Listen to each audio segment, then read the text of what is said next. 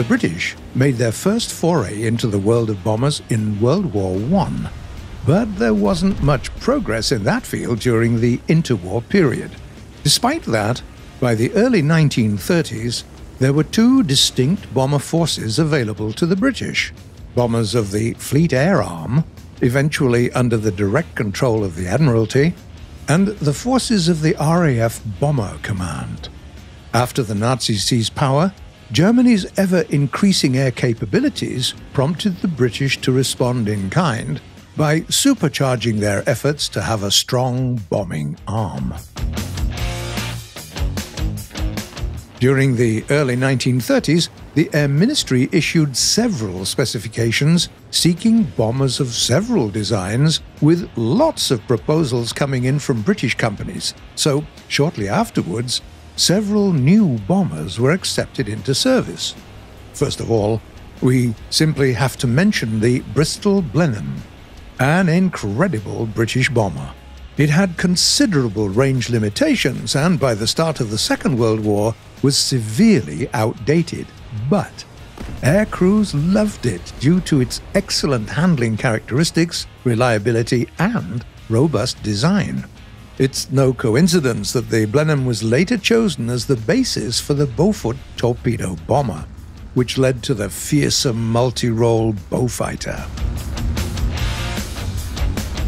In the middle of the decade, the Blenheim was joined by a heavier design, the Handley Page Hampden, famously compared to a flying suitcase due to its unusual looks. But the most interesting British bomber of the time was the iconic Vickers Wellington, created by the genius of Barnes Wallis and his engineering team. A key feature of the aircraft was its unique geodetic airframe fuselage structure. The Wellington took longer to assemble than comparable aircraft, but the procedure itself was fairly simple, which allowed factories to build it with the help of employees with relatively low skill levels.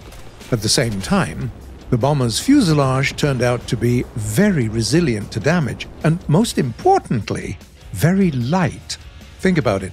Being only three meters shorter than the legendary B 17 Flying Fortress, and with only two engines at its disposal, the British bomber had an operational range of up to 3,000 kilometers. It was this original trio, the Blenheim, the Hampden, and the Wellington, that delivered the first strikes on Nazi military targets after the war broke out in Europe. When it came to developing their bombing capabilities, the Royal Navy was no slouch either. From the early stages of the war, the British employed a variety of torpedo bombers.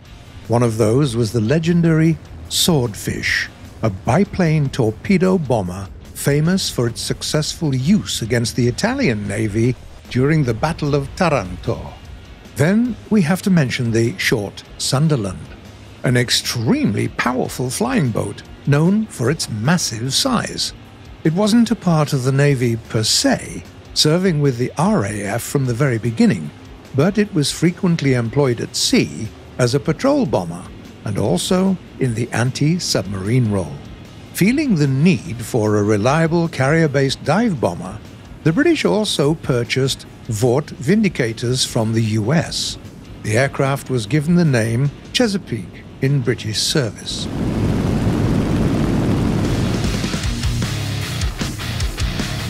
As the sky above the channel became a fierce battleground between British and German pilots, and bombs kept falling on British soil, the Bomber Command, led by Sir Arthur Harris, was getting ready for a counter-offensive. The British were to receive a new trio of aircraft, vastly different from their predecessors. They were four-engined heavy strategic bombers capable of delivering their payloads to basically hmm, any part of Nazi Germany. The first aircraft of the three to be introduced into service with the RAF was the Stirling Bomber, developed and built by Short. Engineers of the company simply took the Sunderland wing, built a new fuselage round it, and succeeded in making a giant aircraft capable of carrying a massive bomb load, putting it in a class of its own. Unfortunately, the otherwise excellent aircraft had some problems with the altitude ceiling and its max speed, so it was quickly followed by two more compact and more nimble bombers.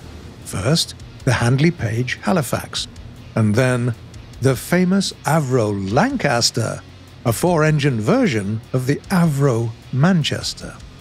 Right to the very end of the war, those three were the bane of Nazis' cities, factories, and transport hubs, attacking countless targets during night bombing raids, while the Halifax was employed as a classic strategic bomber, performing routine strategic bombing missions against the Axis powers. The Avro Lancaster also made a name for itself as a dam buster. During Operation Chastise, a special unit of Lancaster bombers managed to carry out an attack on several dams of the Ruhr Valley under the cover of night. They succeeded in destroying several hydroelectric power stations, delivering a massive blow to German production in the region. A little bit later, the trio was joined by the Avro Lincoln, sometimes also called the Australian Lancaster. The Lincoln was, in fact, the development of the Lancaster bomber, perfect for long range missions in the Pacific due to the adoption of stronger, longer span and larger fuel tanks. Australians also fixed one of the biggest weaknesses of British bombers by upgrading its defensive capabilities. At the time, the British didn't produce a single high caliber machine gun and for the longest time there was a shortage of 20mm cannons as well. These problems were alien to Australia. It received a large number of Browning machine guns from the US and also produced Hispano cannons en masse, stunning London with seemingly impossible numbers. Later, the Lincoln became the base for the Avro Shackleton, a long range maritime patrol aircraft that was in service right up until 1984.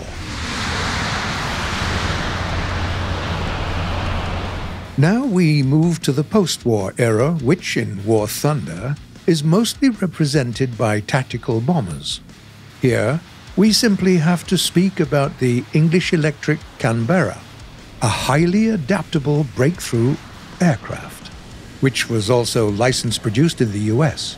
It performed so well and was so reliable that it was employed by the RAF right up until 2006, outlasting most of its contemporaries like the French Vautour or the Soviet Il-28.